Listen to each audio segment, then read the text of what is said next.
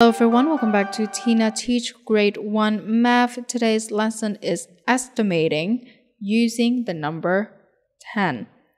First off, I want to explain what estimating is and why do we do it. Uh, sometimes there are a lot of things that you want to know how many there are, but you don't have the time or you don't have the energy to count them all. What you do is you estimate, okay? Estimating is to find how many objects there are without counting them all, okay? And people estimate all the time. Uh, you know, if you work in a supermarket, there are a lot of uh, vegetables, there are a lot of uh, snacks, there are so many things that you cannot keep track. So sometimes you need to estimate things.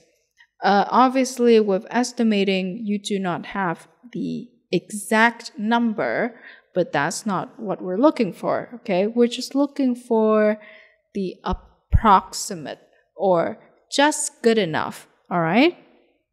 Now, we're going to try to circle uh, groups of tens, and then we're going to estimate how many uh, earths, in this case, there are.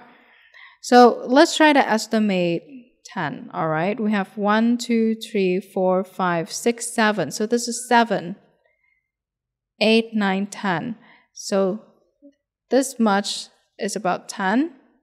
When you see the shape, it's the exact same shape but flipped upside down, okay? And then we have two groups of 10 and then one. So we're going to make an estimate. Uh, it's going to be 20 to 22, right? But we actually know the exact number in this case. It is 21. Okay, let's try counting it. For the first example, let's bear with me. Let's try counting it first to see if we are correct and our logic is correct.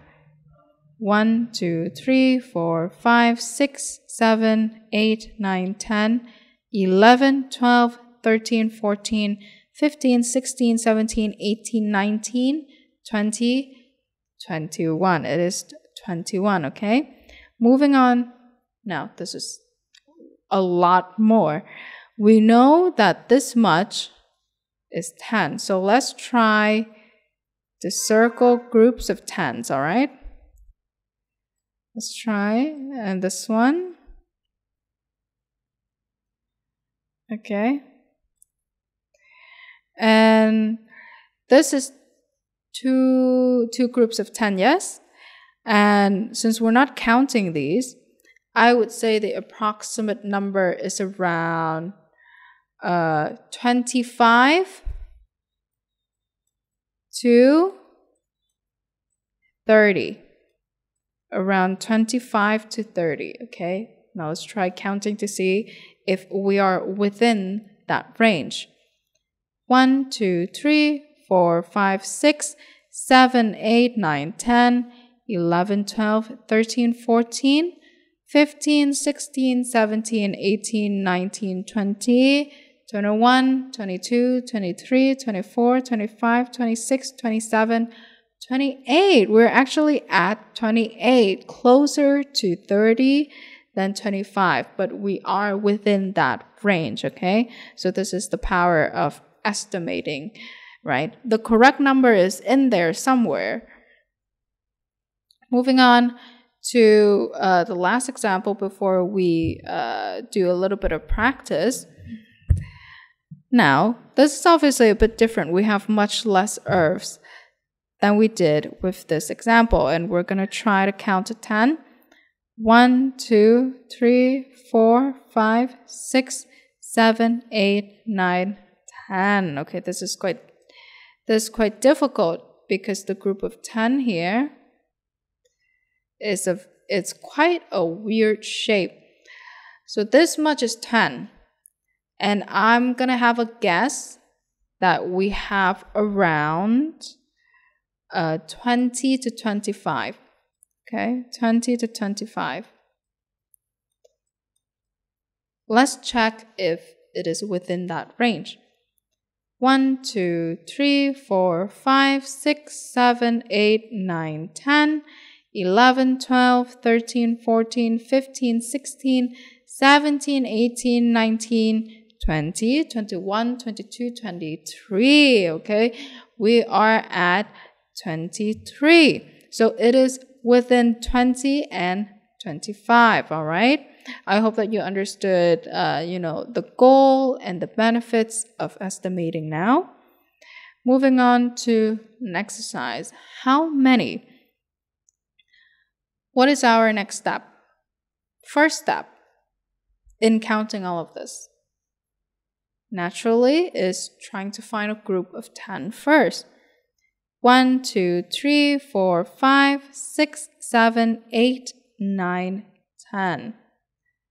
This much is 10.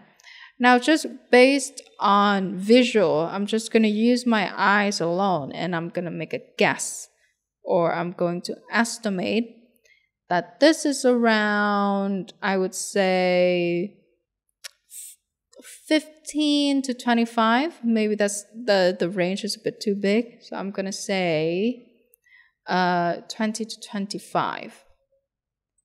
20 to 25. So we already have 10 here.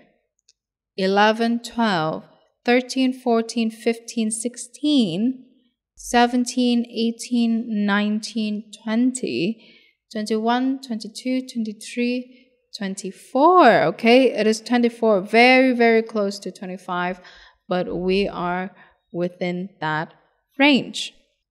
Moving on to strawberries. One, two, three, four, five, six, seven, eight, nine, ten. This much is ten. Let's try to make a guess. How many strawberries do we have here? I'm gonna say this is around 25 to 30. 25 to 30.